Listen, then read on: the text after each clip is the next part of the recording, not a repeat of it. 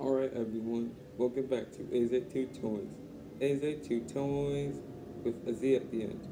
And today, I'm gonna do a movie review, and today it's on this sequel from 2017, and that is The Nut Job 2, Nutty by Nature. The sequel to The Nut Job. The first, the first Nut Job movie from 2014. So in this sequel, you have Surly the Squirrel, who's once again voiced by Will Arnett. He finds out that the nut shop went out of business because no one is working there anymore. And so he decides to live in the down in the basement and his animal friends, including Buddy the Rat. But his girlfriend Andy, voiced by Katherine Heigl, he thinks she thinks she would rather enjoy nature outside than enjoy inside being in the nut shop basement.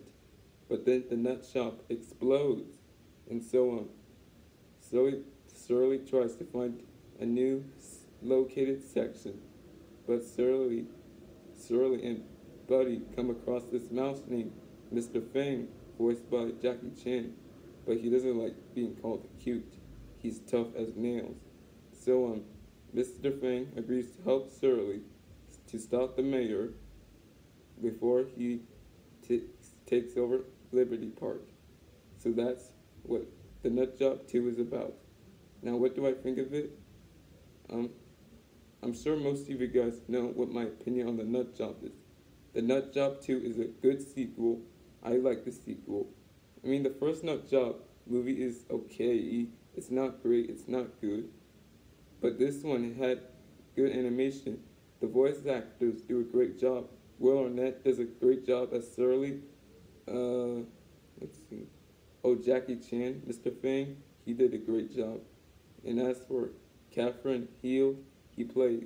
She plays Andy. I thought he did good. And Bobby Milford plays the villain, the mayor. He did a distant job. Yeah.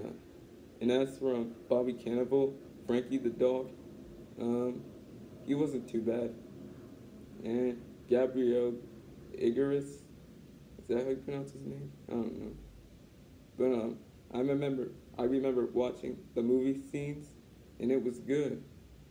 Yeah, and if you haven't seen The Nut Job 2, I definitely recommend it. So The Nut Job 2 is a great sequel.